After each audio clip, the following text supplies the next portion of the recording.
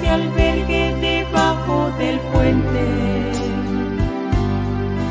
y que nadie interfiera en la vida y la paz de los dos